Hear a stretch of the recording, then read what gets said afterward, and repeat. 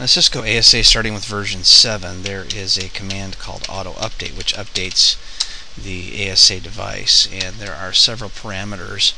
First one is going to be the device ID so if we type device dash ID and then question mark then this is uh, you have several options here to identify to the auto update server any way that you want this particular ASA to be identified. So you could do it as the hardware serial number, the host name, the IP address, any one of these different options will tell the auto update server who you are to allow it to update it or if it doesn't make have a match then it will not.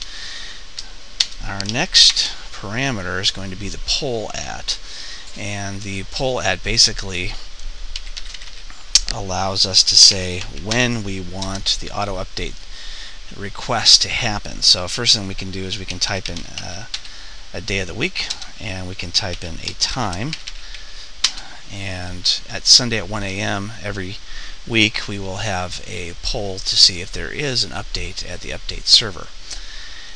And our next command is going to be the polling period. So the poll period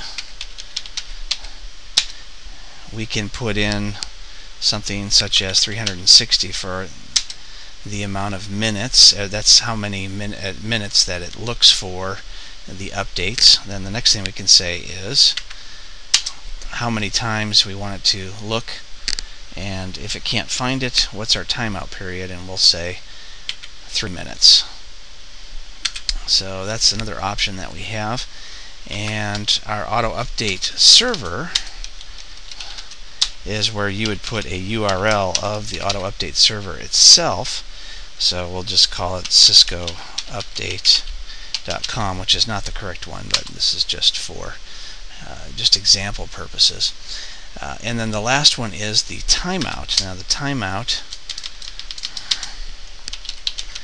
tells us when to give up on trying to find an update. And we'll just say after 1440 minutes